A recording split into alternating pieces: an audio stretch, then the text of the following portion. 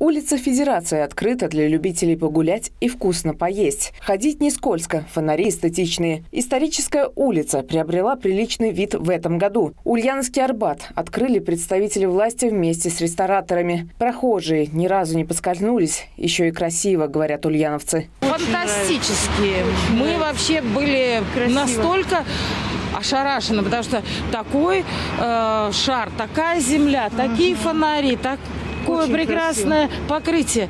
Ну, просто Бродвей.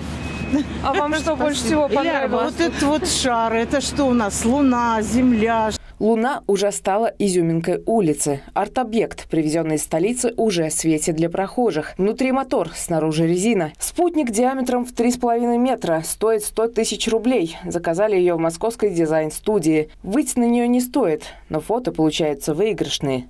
Те, кому не по душе, прогулки под холодной луной могут прожить историю с огоньком. На Федерации появилась вот такая костровая чаша с мордой кабана. Полюбуйтесь на эти согревающие языки пламени.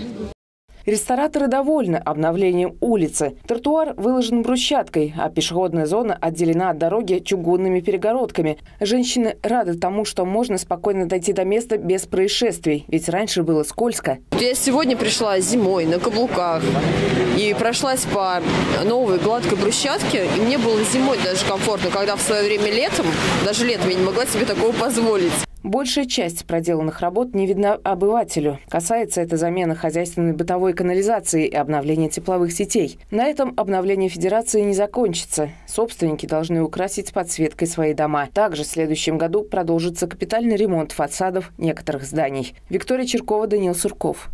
Улправда ТВ.